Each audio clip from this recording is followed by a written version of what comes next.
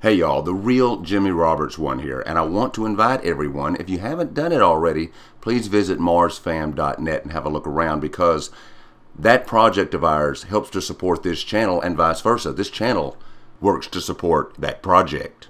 The one and only thing that we are selling here is the truth. Day 565 of the rover Curiosity on the planet Mars. This is a good one, folks, and we've looked at this a little bit before, but we've got a lot more on it. Now let's first take a quick look at this NavCam mosaic to kind of put things into context.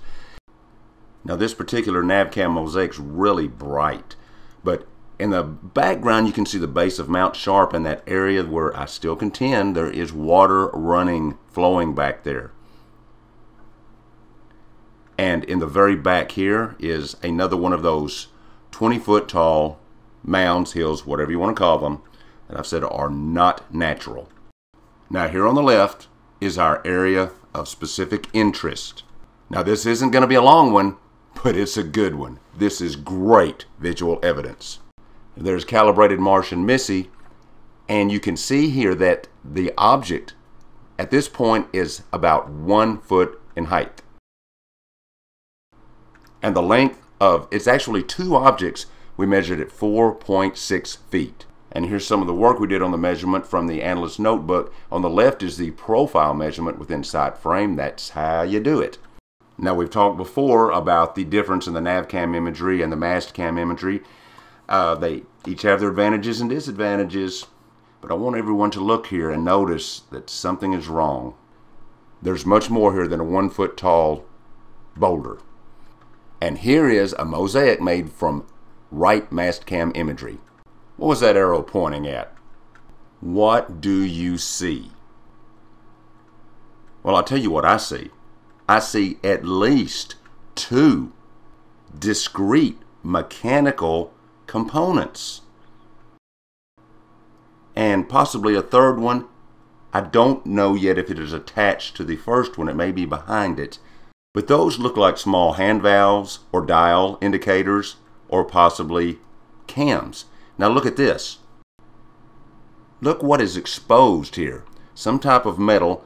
You can tell it's curved and look at the almost zigzag shape that uh, is pretty evident. And that's not all. There's really a lot more to this. In, in fact, look at this area. We have something exposed here. What is that? And what about that area? Okay, now I'm going to throw one of my favorite contrast filters onto here. Because, man, this really brings stuff out. Check it out. Notice you can see the circular points of rotation on these uh, devices, handles, dials, cams, whatever they are. They are made to rotate. And here is that circular piece of metal with the uh, zigzag design on it.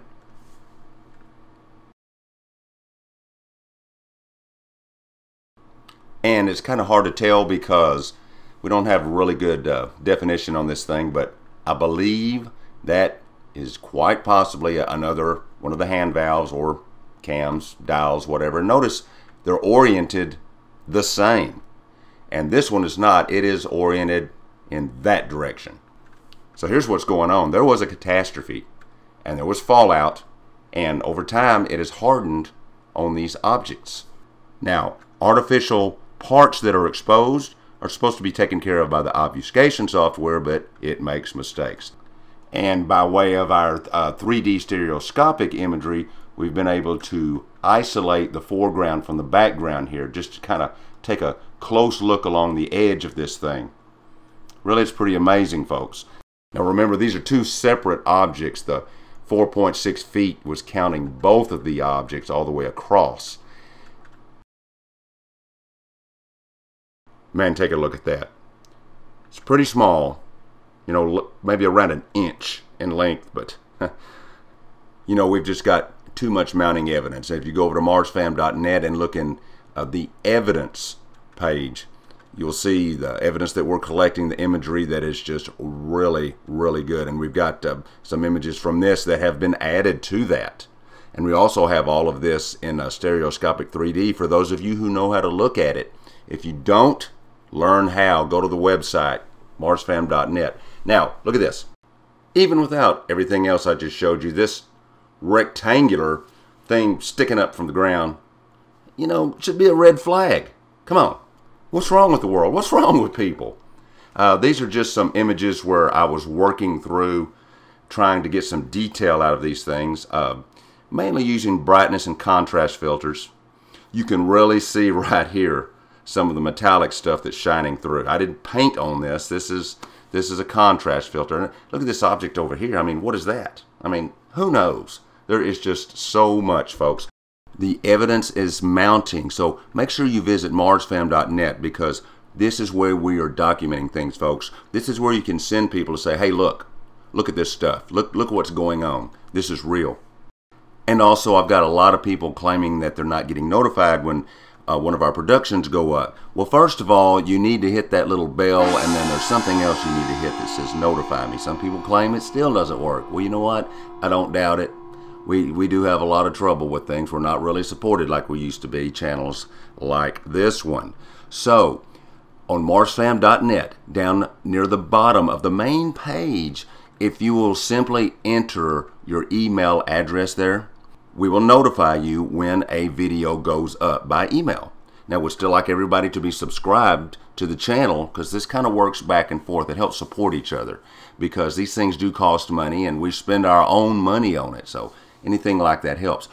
Now, listen, folks, if you do enter your email address at marsfam.net, those email addresses will not be used for anything else. They're not sold, and I will not be using it for anything other than the real Jimmy Roberts 1 has uploaded a new YouTube video. And that'll be it. Okay, look, we'll get to work on another production and we will see you real soon. Later, y'all.